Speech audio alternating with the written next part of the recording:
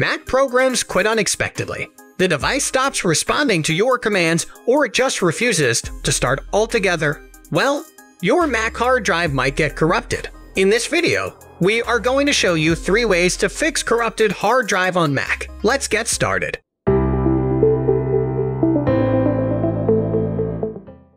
The first solution is using Disk Utility.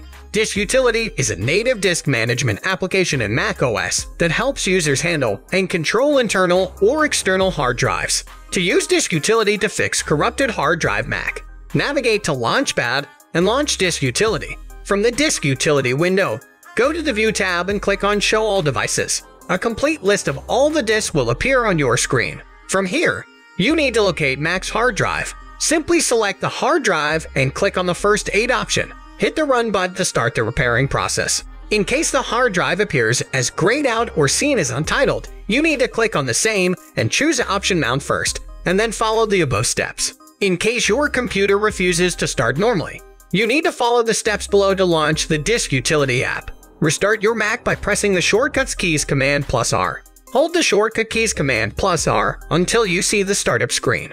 As soon as you do that, the Utilities window will open. From here, you can choose Disk Utility and repeat the process.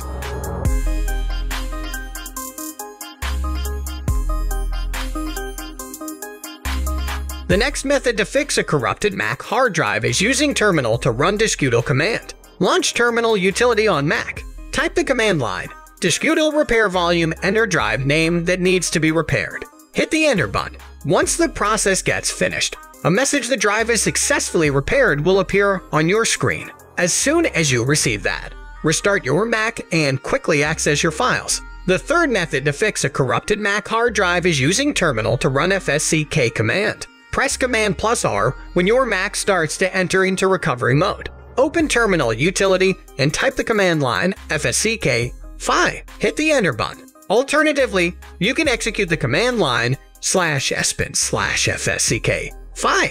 Once the scanning gets completed, FSCK will automatically fix any hard drive corruption.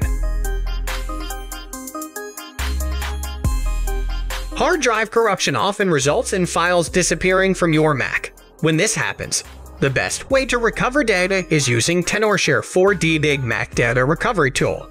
You can rely on this tool to recover any corrupted, formatted, deleted data from Mac Windows, USB drive, SD card, external hard drive, digital camera, and more.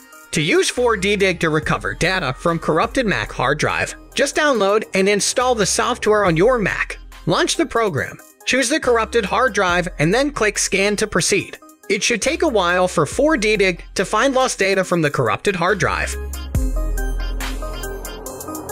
Once you find the target files, Choose them and then click on Recover to save them to a safe location. Hopefully these methods can help you fix corrupted Mac hard drive. And if you want to recover lost data, TenorShare 4DDiG is the best bet. If you have any questions, just leave your comments below. See you next time.